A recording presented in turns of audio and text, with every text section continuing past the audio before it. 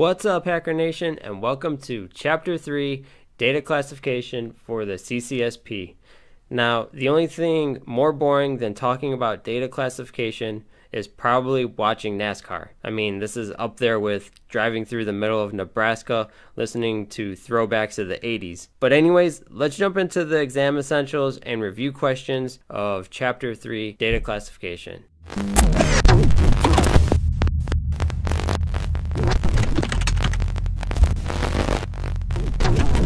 Alright guys, let's go over chapter 3 exam essentials.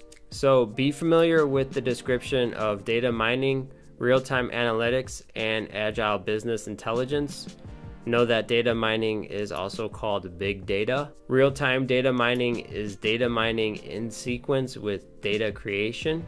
And Agile is the state of art data mining that can detect trends inside of trends and also identify even more indirect and obscure patterns. Understand the various roles, rights, and responsibilities related to data ownership. That means know who the data subject, owner, controller, processor, and custodians are, and understand the rights and responsibilities associated with each of those roles. Also, understand the purpose and method of data categorization and classification. That means know why and how data owners assign categories and classifications to specific data sets. And this goes back to different types of privacy laws, jurisdictions, whether the information is classified, unclassified, secret, top secret, etc. Be familiar with data discovery methods. That means know how and when data is labeled and by who. So labels might include the date of creation,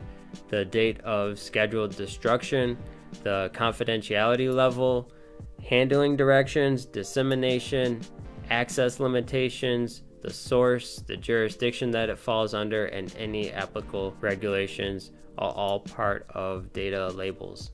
Know the data lifecycle and make sure that you know these phases in order, which are create, store, use, share, archive, and destroy. Know which phases include data labeling, content creation, IRM activities, data disposal, data retention, and data audits and also be familiar with the various intellectual property protections. What this means is know the difference between copyrights, trademarks, patents, and trade secrets. Copyrights are protections for expressions of ideas. So this involves literary works, films, music, software, and artistic works. Copyrights do not cover ideas, specific words, slogans, recipes, or formula. Now, trademarks, they apply to specific words and graphics and are representations of an organization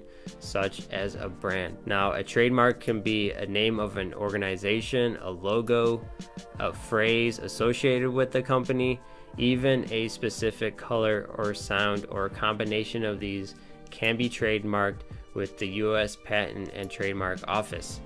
Now, patents, they protect intellectual property in the form of inventions, processes, materials, decorations, and plant life.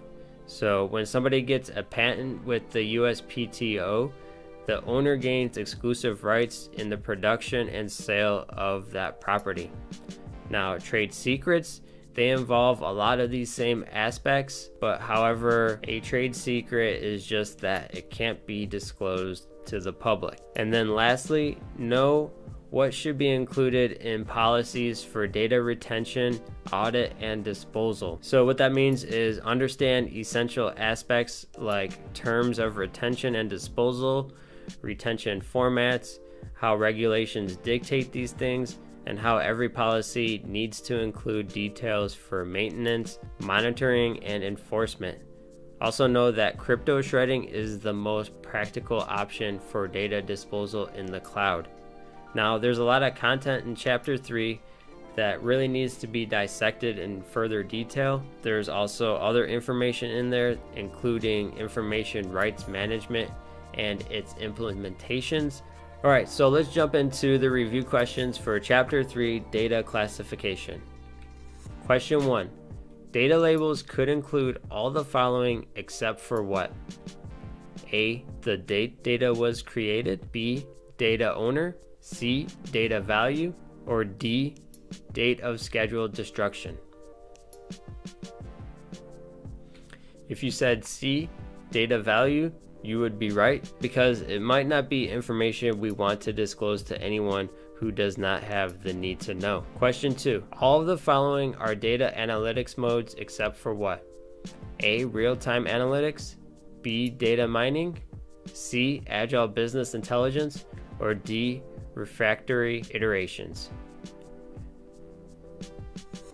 If you said D, refractory iterations, you would be right because this isn't a real term. Question 3. All policies within the organization should include a section that includes all of the following except for what? A. Policy maintenance. B. Policy monitoring. C. Policy enforcement. Or D. Policy transference. If you said D. Policy transference, you would be right. Question 4. The most pragmatic option for data disposal in the cloud is which of the following? A. Melting, B. Crypto shredding, C. Cold fusion, or D. Overwriting. If you said B. Crypto shredding, you would be right. Question 5.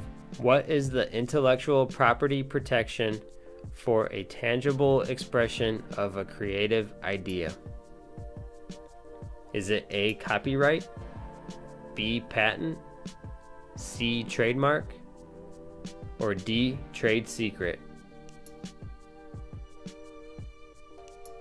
If you said A. Copyright, you would be right because copyrights are protected tangible expressions of creative works. Question 6. What is the intellectual property protection for a useful manufacturing innovation? Is it A. Copyright, B. Patent, C. Trademark, or D. Trade secret?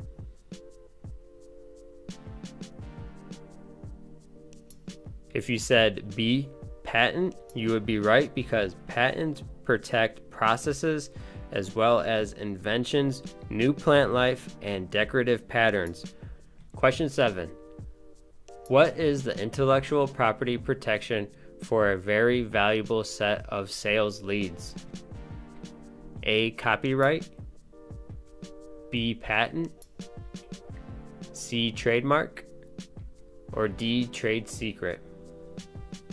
If you said D. Trade secret, you would be right because confidential sales and marketing materials unique to the organization are trade secrets. Question 8. What is the intellectual property protection for a confidential recipe for muffins? A. Copyright, B. Patent, C. Trademark, or D. Trade secret? If you said D. Trade secret, you would be right because confidential recipes unique to an organization are known as trade secrets. Question 9. What is the intellectual property protection for the logo of a new video game? A. Copyright, B. Patent, C. Trademark, or D. Trade secret?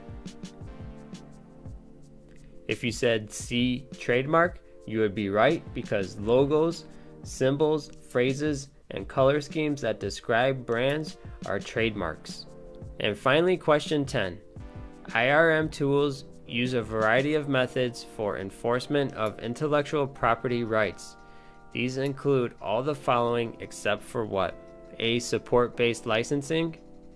B. Local agent enforcement. C. Dip switch validity. Or D. Media present checks. If you said C. Dip switch validity, you would be right. Information rights management solutions use all of the other following methods except for dip switch validity, which isn't even a real term. And that does it for Chapter 3 Data Classification. If you enjoyed these videos, go ahead and hit that like button and subscribe because next week we're going to be going over Chapter 4 cloud data security, exam essentials, and review questions, so stay tuned. And thanks for watching.